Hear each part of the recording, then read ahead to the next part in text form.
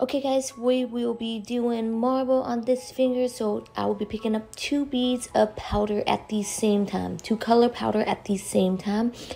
And now that is done, I am going to place it directly on top of the nails.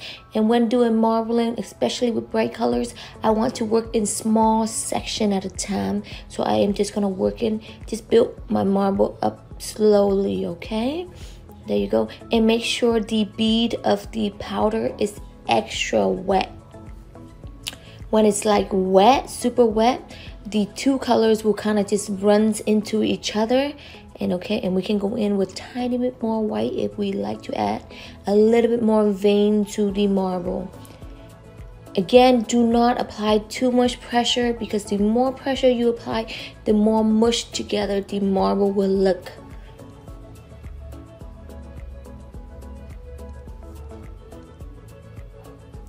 All right, now we're just gonna work our way up to all the way to the cuticles of the nail. There you go.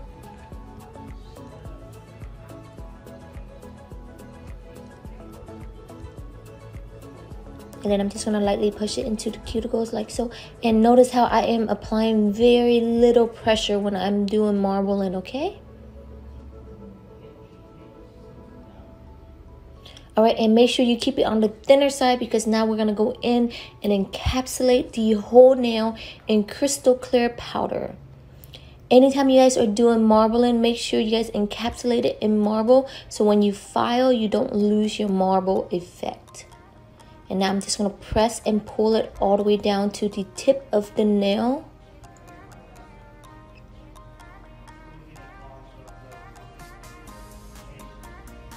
There you go. And then we're just to cut it off at the tip. And then I'm to press it into the shape that I am working with.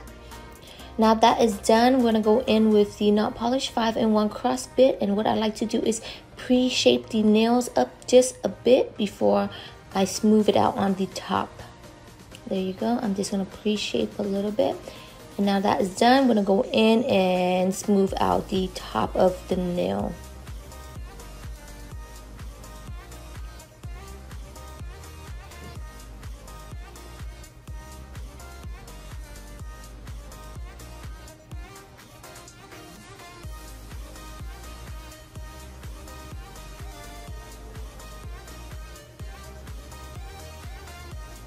Okay, now we're just gonna go in with the hand file and shape it up.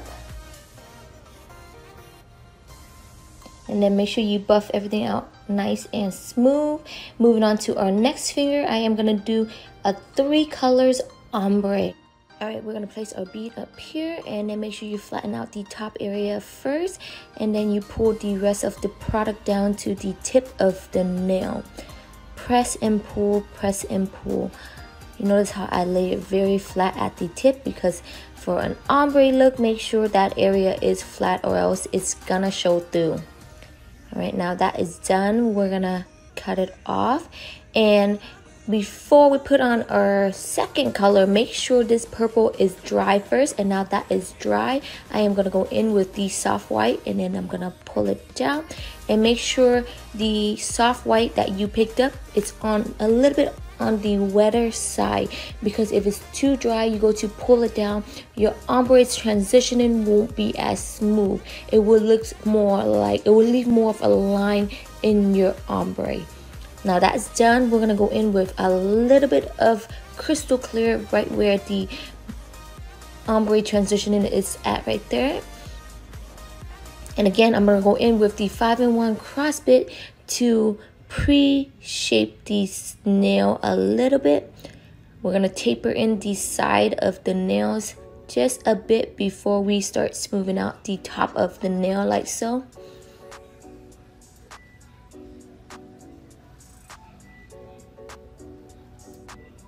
And now that is done, I am going to go in with the not polish hand file and then I'm just going to shape it up.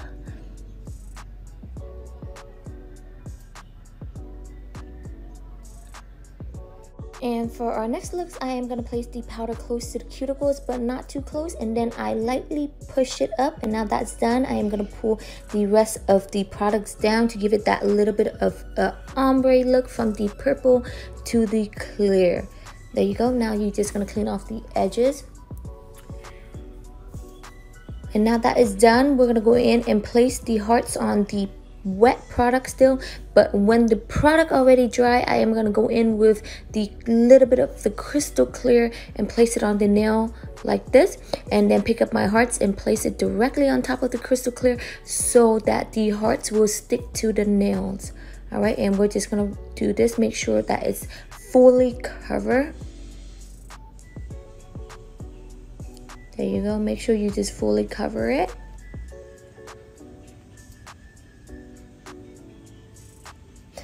and you can get these hearts on Amazon also.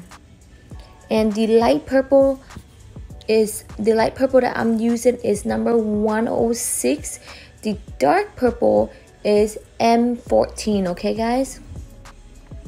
All right now we're gonna go in with the crystal clear and then just encapsulate the whole thing. Again do not place the crystal clear too close to the cuticles because it will make everything just really thick that at that area and then you're gonna have to smooth it out later. So make sure you don't place it too close to the cuticles and then we're gonna cut it off right there. These okay I'm gonna, I'm gonna say it one more time. The soft white is number 101 the light purple is 106 and the dark purple is M14 okay guys? And then the little hearts you can get it on Amazon and now that is done, we're gonna go in and place our gems. Make sure you smooth everything out and then we're gonna go in and place our gems on there. And I'm just gonna go in with the not polish number two. It's a dipping base. And we're just gonna go in and place the gems on like so.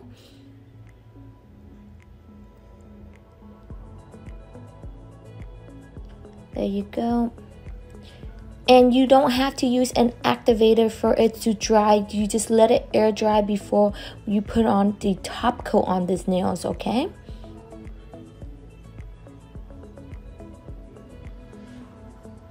There you go.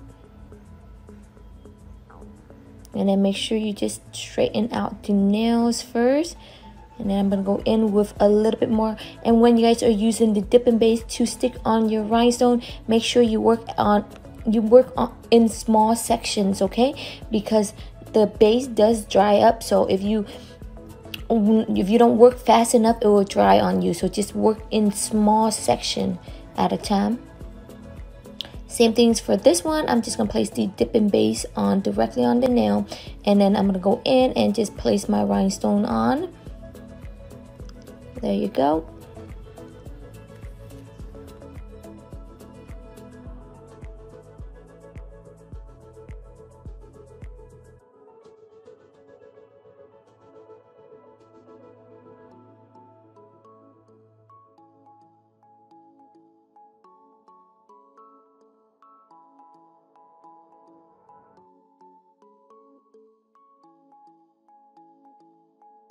and when this is done we're gonna wait for it to dry before we put on the top coat okay? We're gonna wait for the rhinestone to dry before we put on the top coat. So we're gonna work on the next nail.